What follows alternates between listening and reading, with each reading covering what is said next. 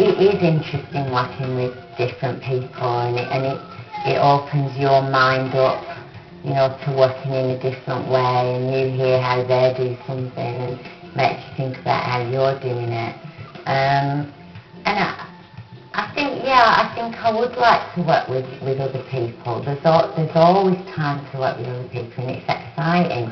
I mean, two people that I really would love to work with, to sing with, I think, um, are Mary J. Blige. I'd love to sing her. Um, and D'Angelo, I'd love to work with D'Angelo. I think that'd be really interesting. I mean, people who aren't around anymore. I mean, band would have been amazing. Can you imagine, you know, just getting up and that would now that would be a fright. That would be a shock to the system. Um, and Billie Holiday. I think I'd be too frightened to get up and sing Billie Holiday. Oh, but what an amazing feeling that would be.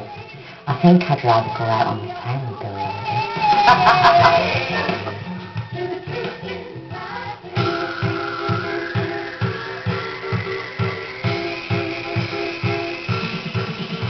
I can remember a concert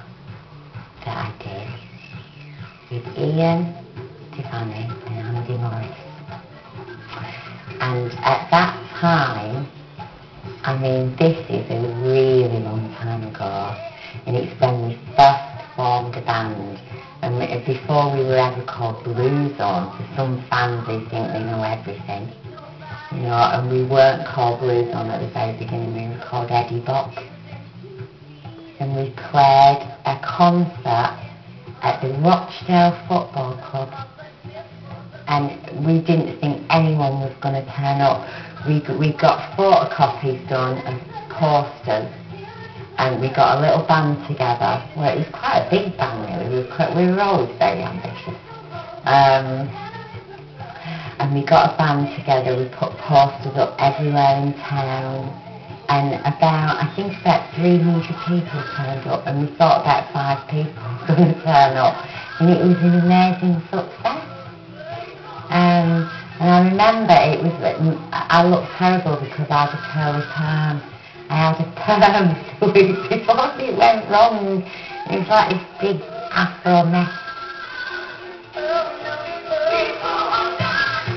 Um, my first real gig as, as Lisa Stansfield um, was the Royal Court in Liverpool. You know, I mean, there were so many people turning up to this gig, and and you know, you you, you suddenly, you know, gone from nobody knowing who you are to everybody in the country knowing who you are, and playing a gig to like what I think it was like four thousand people or something, maybe a bit less than that. Um, and you know, we were really excited. It was such an exciting time, and it was the sort of time when you don't sort of really care that much because you've never done it before, but there's part of you that really cares. You know, so it's like, oh, right, I just want this might never happen again, so I'm just going to go up there and I'm going to have a really good time. Brilliant.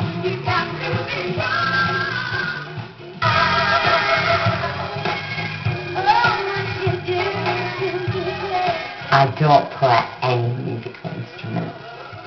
Um, I'm shocking, terrible. I try, I once tried to play the saxophone, and that lasted about two weeks.